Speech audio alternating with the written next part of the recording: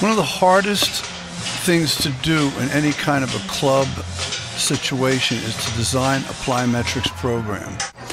What we try to do with our athletes is we try to design a program that they're comfortable with on the equipment that they already have at the location where they're already at.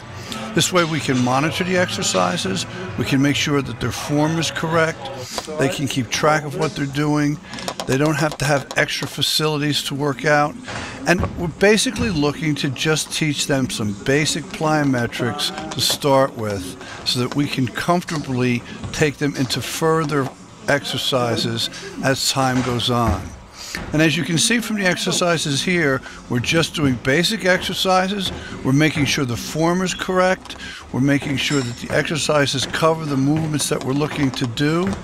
And we're also looking so that the athlete can tell us their feedback on the various exercises. If you'd like more information on these exercises, I'd be more than happy to give you get in touch with me and we can give you some more information.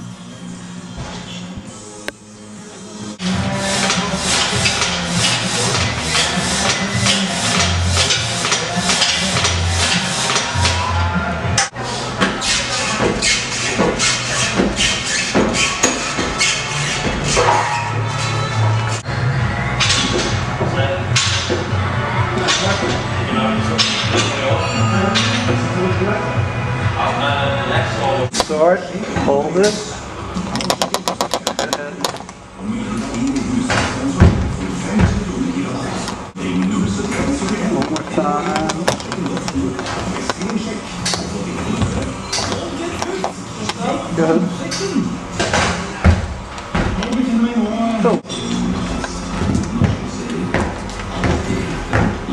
one